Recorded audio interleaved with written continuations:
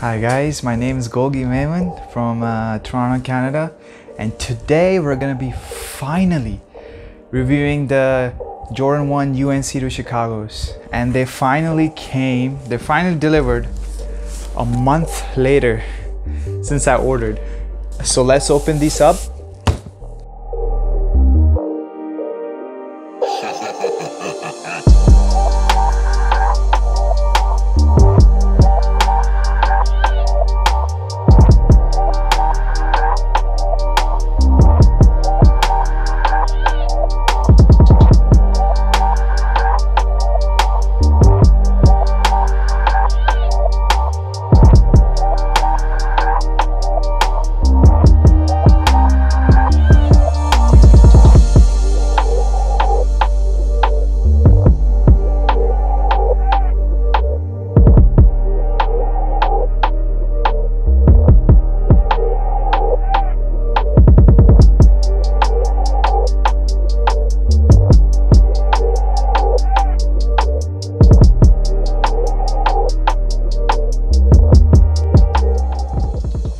so guys the video has many sections that if you look at the buffering part it has many sections. So i talk about the design i talk about sizing i talk about resale and i also talk about Nextdrop which i think is the best place to buy sneakers in canada.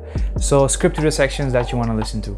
So this colorway commemorates michael jordan's legendary career from university of north carolina tar heels where he won a national title to chicago bulls where he won six world championships. There were two different UNC to Chicago themed Jordan 1s releasing. The first one released in all the way back in holiday 2019 was called the fearless one the patent leather one and the other one is this women's exclusive which released this year on february 14th it follows the same split, split color blocking as the fearless but the the powder blue of the unc at the rear and the red of the bulls at the front. Heavily tumbled leather is utilized in every single panel, with blacks providing the base, red on the toe cap, and dark powder blue on the collars and heel overlays. The red on the toe, the tongue, and the outsole give off that red vibe. The tongue's Nike Air branding is gym red, while the original Wings logo is dressed in black and then a nice contrasting white midsole completes the design. Another interesting detail is that the right insole is red and the left insole of the left shoe is blue. I don't know what this particular thing is called but it looks really nice and I'll keep it on because I think it does add a lot to the personality of this particular shoe. The quality of the leather is incredible. It's the best I have seen. It is at the level of Shattered Backboards. It's buttery smooth. From the black to the red to the blue, everything is. The shoe really has that premium feel. These are an extremely versatile shoes. You can dress it up with anything and uh, it'll look amazing in under any lightings. The standout appeal of this is crazy because of the contrasting color palette of the black, red and blue. Every time I see pictures of this on Instagram, I just, it, looks so amazing on pictures and in person. I wanted them for so bad for so long and I'm so excited to finally have them. I think for me, these are the best looking sneakers. One of the best looking sneakers I have ever seen. Not exaggerating. It's releasing in women's, preschool, toddler, all the way to crib sizing.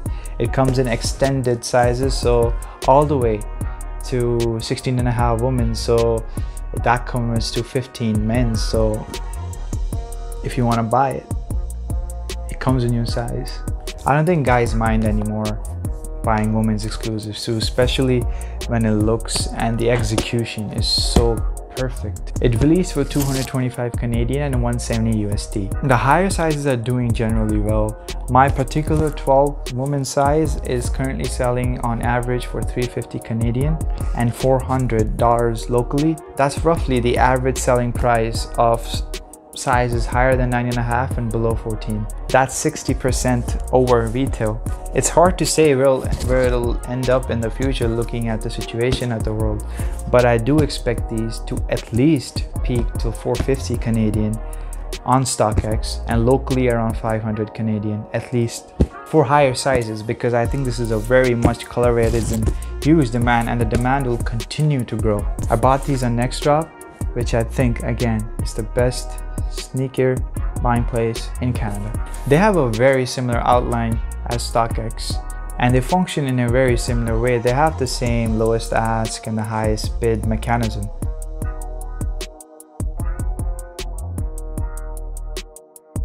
The asks are in blue and uh, the highest bids are in red at the bottom of it. So after purchase the item, the seller sends it to next Nextdrop where they authenticate it, they legit check it just like StockX and they send it to you. They have a 100% authentication rate so far. Let's not talk about StockX.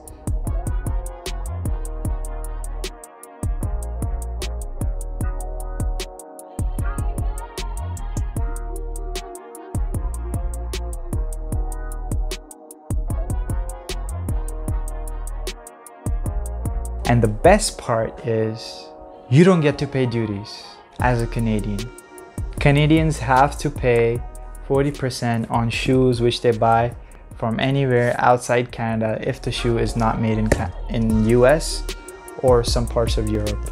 And because Nextdrop is Canadian based, everything is done in Canada. The shoe, the seller sells in Canada and Nextdrop ships from Canada. So it's it's completely Canadian. So you don't you don't need to pay duties. Coming back to it, if it turns out to be inauthentic, you contact them, they'll 100% refund you your money. If you try to sell, they have the same 12.5% fees as StockX, but you'll be saving 10 to $15 on shipping, which the StockX charges.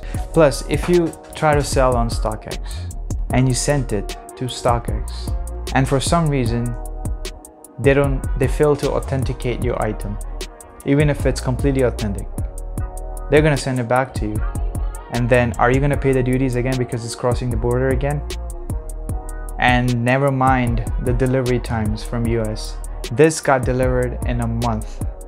And this happened in Canada. And that is because of Canada Post because Canada Post is having record number of deliveries this pandemic season. like Christmas season record level so that's why it's been delivered late and even if and i expect to be all deliveries to be this late. What's the solution? Switch to ups i don't know. And the packaging they arrived they're pretty really secure as you saw. So the actual box is not damaged. I'll tell you my brief personal experience. So i bought the size 12 and a half. When it went to legit check it turned out to be fake. So Nextdrop informed me and they refunded my money right away why do people do that? Why would someone deal with fakes? It's such a disgusting move. Such a classless move, man. But thank God the legit check saved me. And I ordered the size 12 and it came in and uh, I saw some inconsistency on the shoe. Like there were some glue patches on the toe and the swoosh and one of the laces stitching wasn't quite appreciable. I, I got really worried. So I was like, what if I got fakes? So so I contacted the customer service. So Mo at the customer service took a look at all the pictures and he assured me that uh, the quality of Air Jordan 1s have deteriorated over the years and there are inconsistencies in a lot of Air Jordan 1s. And just to make me more satisfied, he said, I'll go talk to my team and I'll come back and I'll let you know after showing them the pictures. After, so he came back after an hour and he said that his authenticators at Nextdrop completely verified this and he mentioned that I'll read the text to you? He talked to our authenticator. He says it's all fine. All the shoes don't look exactly 100% the same. And we've noticed that especially with the air jordan 1 for example we had a couple travis scott's air jordan 1s come through last week and there were slight differences which is all due to quality control and whatnot. Concerning glue patches very common on air jordan 1s and yeezy also. So this is the type of customer service you need. So I'll leave the link to their website in the description below, so please check them out. It's better that more people, because a lot of people don't know about this. If the more people know about this, the better it's for everybody because there are gonna be more people trying to sell, there'll be more shoes available, more sizes available. It's gonna be better for everybody. So I think it's the best place because you're getting a legit check and uh, you don't get legit check on Kijiji and let's not talk about Kijiji man.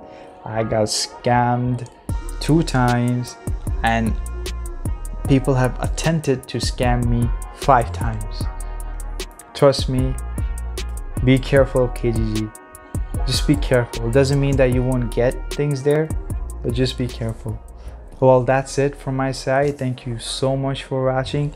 Oh, by the way, today I got exclusive access on the Adidas app to buy the Yeezy Wave Runners. Bro, my collection just after the Wave Runner, I just feel happy with my collection now. It's, I don't, I'm happy. So I'll review those two when they come in. So and uh, thank you so much for watching. I'll give you an on-foot look and I'll see you in the next one. Take care.